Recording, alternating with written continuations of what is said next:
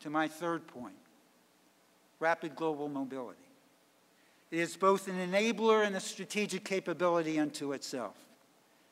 Underpinning vital functions such as crisis and natural disaster response, joint combat support, global logistics, and rapid global mobility force provides our nation with the in-flight refueling capability of the KC-10, the KC-135, and, and the future KC-46 tankers, as well as the ability to haul massive amounts of cargo with unparalleled speed to distant destinations, from wartime materiel to humanitarian relief supplies.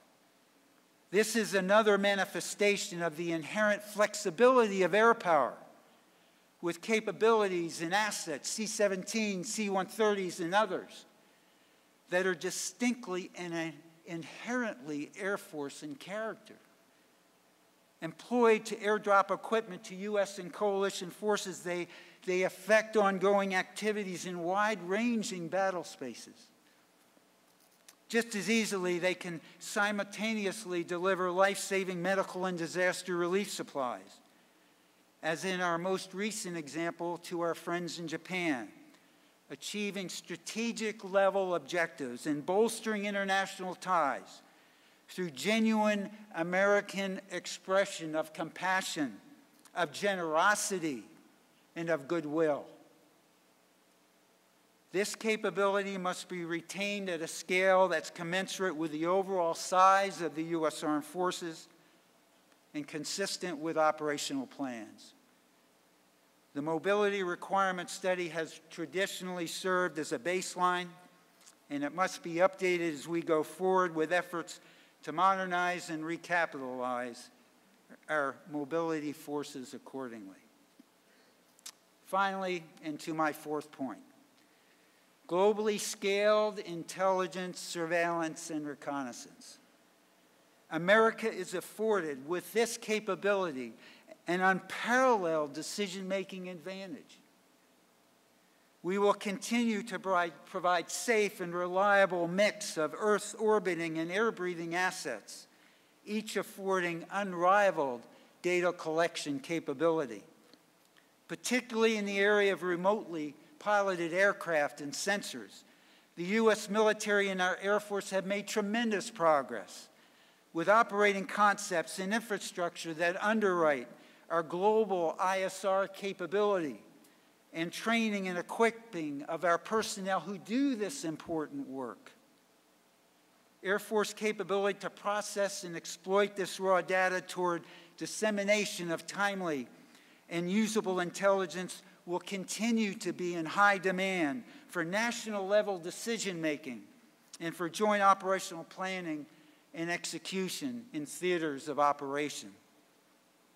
While the size and shape of our ISR capabilities must be constantly evaluated and rationalized in relation to national and combatant commander requirements, we remain committed to continuing the institutionalization of ISR and, and its expertise in our Air Force, and most assuredly, we will not return to pre 9 11 force levels. Again, underpinning and embedded in each of these unique contributions is an additional distinctive and enduring core function, the remarkable ability to command and control air, space, and cyber operations.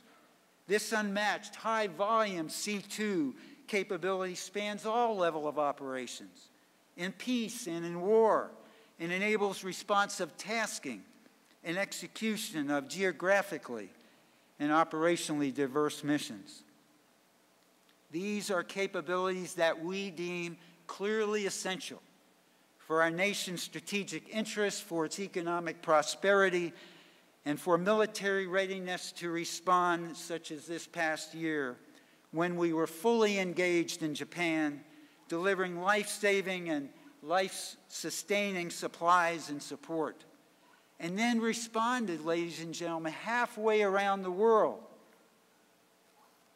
all the way on the opposite end of the operational spectrum to help enforce the UN Security Council resolution and its mandate in Libya. By the end of March and the beginning of April, U.S. airmen were single handedly and concurrently responsible for evacuating 7,500 American citizens from hazardous zones and delivering 60%, close to 5 million pounds of U.S. relief supplies to Japan, while in Libya, contributing more than 65% of all coalition sorties, including 99% of operational airlift, 79% of in flight refueling, 50% of airborne reconnaissance, 40% of strike missions. One, ladies and gentlemen, would be hard pressed to find a more impressive, more compelling inst- instance of strategic flexibility and versatility in all its dimensions, all at the same time. So we may have to carefully consider reduced capacities in some areas while maintaining and perhaps increasing investment in others, such as the four that I just discussed. We must carefully consider and calibrate our acceptance of risk manifested in a force that's smaller in size and scale. Most assuredly, we will still be an extremely capable and effective force. But the simple matter, one of physics, is that we will be able to be in fewer places and achieve fewer effects in rapid succession to which we all have become accustomed. We can mitigate some risks through enhancing collaboration with our joint teammates, and we are such as with Air Sea Battle and our Long Range Strike Initiative.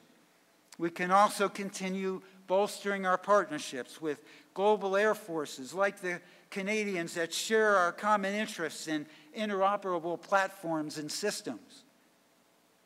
Through co cooperation and collaboration with partner forces, both joint and coalition, we can mutually expand broad spectrum capabilities and utilize the additive effects of our pooled capacity to continue providing appropriately scaled air power for the nation. But in any scenario, structuring our force must be done according to our strategy and our priorities. If we seek to avoid a hollow force, we cannot merely execute across the board cuts. As Secretary Panetta has warned, these sorts of ill conceived reductions in defense spending will inflict real damage to the well being of our airmen and their families and ultimately undermine our ability to protect the nation. Instead, we have committed to a priority of readiness, and we will hold the line against longer term erosion in combat power availability and preparedness. One of the most favored measures of character, whether of individuals or of institutions, is how one rises to meet the most daunting, most intractable challenges that we face. Pundits and commentators intone the age of uncertainty, leaving us, as one has put it, grasping for some type of certainty in everything from threat to resources, to pronouncements effectively, their pronouncements effectively mark the time for us to decide whether to curse our luck or to celebrate our opportunities.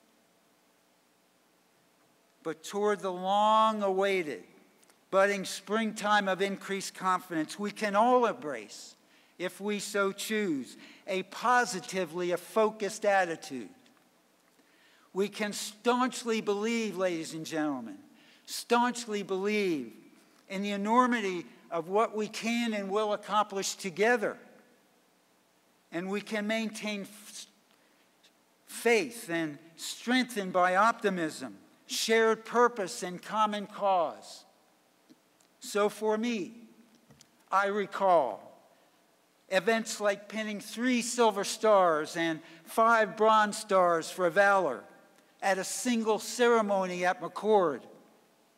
Like B-1s departing in the middle of a snowstorm, below minimum, certainly combat rules, to fly 20 some hours, hours to Libya and help enforce the UN Security Council mandate.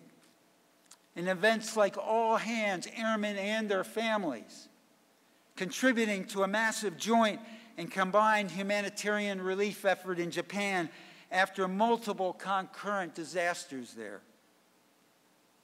And like the combination, ladies and gentlemen, of a decade of effort, our nation's triumph in eliminating the perpetrator of the 9 11 attacks, knowing that airmen were an invaluable part of that national effort.